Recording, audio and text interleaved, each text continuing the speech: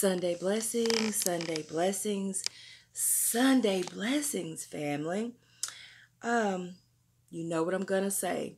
If you're watching and listening to this program, then you have already been blessed because God has given you another day with the breath of life. So go ahead and give Him glory now. Today is going to be a message that I believe effective immediately is going to help you take a load off. Let's get right into it. Go ahead and get out your Bible I hope you got that paper Bible. I'm going to keep on saying it.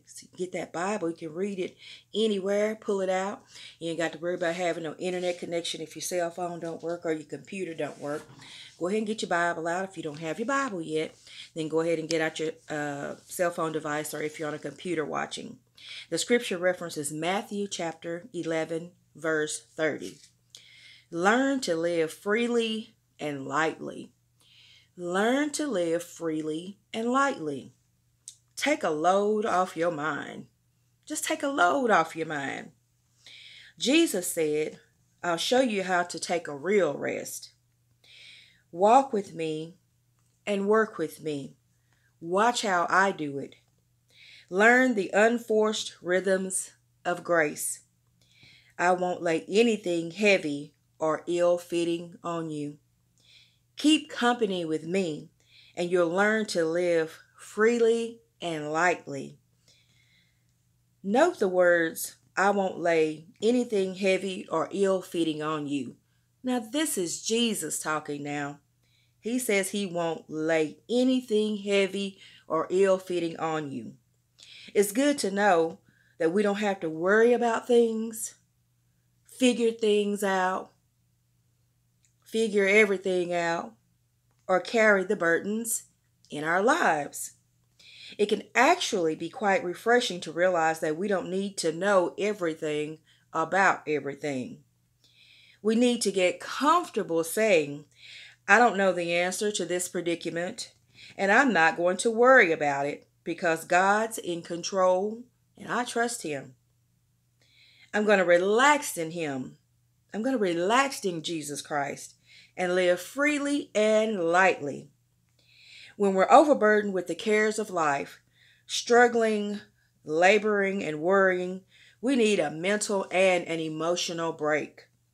Our minds need to rest from thinking about resolving problems, and our emotions need to rest from being upset.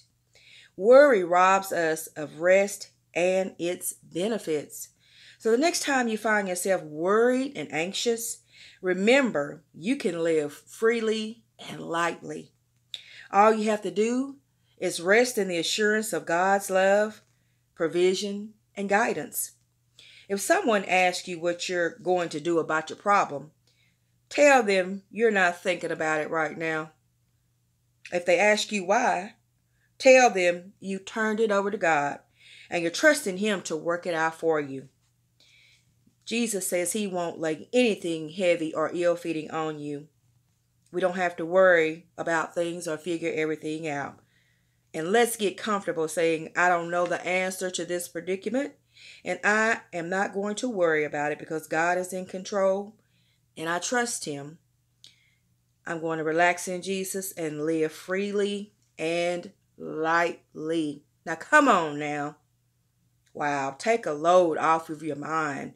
Learn to live freely and lightly. And these were words spoken from Jesus himself. Now, if Jesus, who carried the burdens of this world and even laid his life down for us, y'all, if he said, take a load off, I got this, that's coming from the main one. When the main one who you listen to tells you to take a load off, I got this, he got it. That's his reassurance. I want you to listen to this message two or three times, absorb those words like a sponge, and then take some notes and then lay it by your bed. And when you get up, I'm going to live free and light today. Jesus said, I can take a load off. He got it. And then I like the reassurance where it says too, somebody come up to you and say, well, what you to do about it? How you to handle it? Tell them, I don't know. and I'm not worried about it. I'm going to relax and live freely and lightly in it because Jesus got it and watch it work out. So you're in control. Jesus has given you the control because he got control over it, okay? Learn to live freely and likely. Just take a load off your mind. Starting right now. I feel better myself already. not going to worry about today. Not going to worry about tomorrow, next month, or next year, or whatever. I'm going to learn to live freely and lightly. And it can come as it may because Jesus himself has told me to go ahead and relax. And I trust and believe in his word. Powerful blessings powerful lessons on the way as we speak. Go ahead and leave your testimony. I've been getting some testimonies too. I love when you give me feedback. And welcome, new family members. Welcome, welcome, and hello, um, continued supporting family members that we know each other quite well now and we speak on a regular basis in our comment section. You know what? I'm so proud of everyone that no matter what you're going through, that you're saying, I'm going to trust God in this thing. There's so many evil things going on in the world right now and just stuff, stuff, stuff, stuff, stuff, you know, even in our own homes, our own lives. But we can live free and light because Jesus has told us in his word and his promises are never void. As long as we got that faith, his promises are never null and void. All right, welcome, new family members. Hello again uh, continue supporting family members and here in this family. The only thing we require is that we love and respect each other, that we love God first, love each other, respect. We try to keep each other going. We can vent our problems and issues here without being judged. No, we're not perfect, but we're just trying to do the best that we can while we're still here on this earth until we get to our heavenly home. All right. Look forward to talking to you soon. Look forward to some, uh, not only the Sunday blessings, but some in between blessings too, because we don't have any more time, y'all. So I'm trying to get up as much inspiration as I can while I can. And I want you to pass it on. Remember, we're family. So what do we do with our families? We love and we share. All right. I love you. Be blessed. Powerful blessings coming. And I love you. Have a wonderful Sunday.